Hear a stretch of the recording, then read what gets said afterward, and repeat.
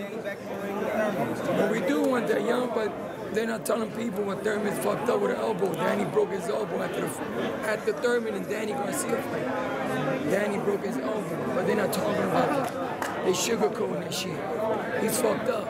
He might not even be the same guy ever after that. You think we'll get Danny in him at the end of this year? Well, yeah, we want it. We want it in July, but Thurman said he need more time.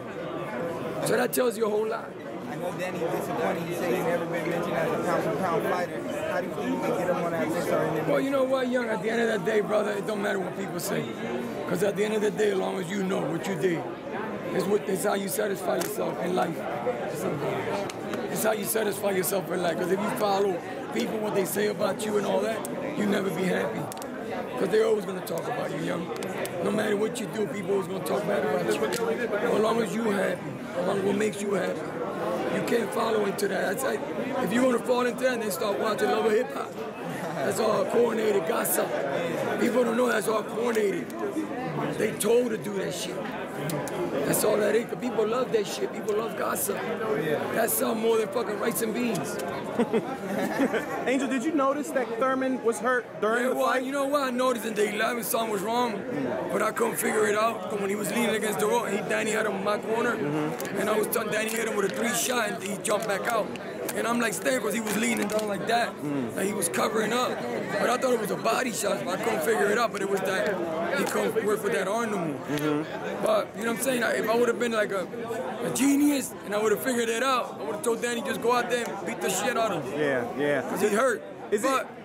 Go ahead. I was gonna say, is, is it frustrating for you as his father, as his trainer, to not see Danny get the type of credit? I mean, I was just talking to him earlier. He's got pretty much one of the top three got- best resumes great- in boxing. Exactly. He had a great resume as, a, as, a, as an amateur too. Hmm. Danny should have been the 2008 Olympian. Hmm.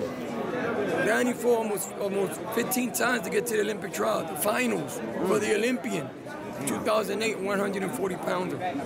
And we got set up the same way politics. Well, where's the Olympian at today? You wouldn't even know who the 40, 100, 140 pound Olympian 2008, right? No. Nobody knows. Wow. He's the, he turned out to be the ultimate. We went we went um, pro that same day, right at there at the arena. We're golden one. We turned we're golden one. But uh, you know I don't regret nothing because God been good to us. Mm-hmm. You know what I'm saying? Because as long as the man satisfied, I'm satisfied. Danny's happy, my friends are happy. I'm good. Mm-hmm. Mm-hmm. Now I Because can at the end of the day, it's about me and God, our relationship. Sometimes things happen to you, trials and tribulation, to see how bad you believe in Him. Mm. So He took something from us that meant a lot, but He's gonna double that, triple that. Mm. So it don't matter to Him, because along that's how He wanted it. Yeah. That's all. We probably was a little off track. We don't know. He put it back on track. Did you feel like you were a little off Well, track? I don't, I don't think we was off track, but But you don't know. I'm know. I don't know because God work in mysterious ways. Right. He, I probably didn't satisfy him or Danny Mm. in his eyes, because that's how God works. God is a punishing God Mm. and a loving God at the same time. You know what I'm saying? Can you tell me what the exchange was? They were telling each other in the face-off? I couldn't, re- I couldn't really hear it, but Danny said something about that he was, I don't know, you want to dance some shit. I couldn't really hear. I think it was like, you don't dance or some shit. But Yeah, he see, I need yeah. that. I need that kind of fighter like that. I don't need guys to run around all day. I need that. 'Cause I need a puncher need a guy to be in front of him. You know what I'm saying? He's a good puncher too. You know what I'm saying? He got a good resume. But at the end of the day, he had war. We haven't. You talked a lot about He had a lot of punishment. I'm not saying that's an excuse now. I'm not building excuses for them. That's their teams. That's their problem, not mine. That's their camp's business, not none of my business. Because me as a, as a trainer, I got to look out for the interests of my fighter. So the day I see Danny got to hang it up, he got to hang it up. Because I won't be around if, if you don't want to listen. I'm, I'm gone. 'Cause like I said, I told you before, ain't no money in the take this world. guy from y'all, bro. Come on, big. Yo, we out, bro. Well, I visualize that, right? Listen, if he say he gonna come dance, not dancing, not, you know, perfect. I've seen him get early for body shots. Early.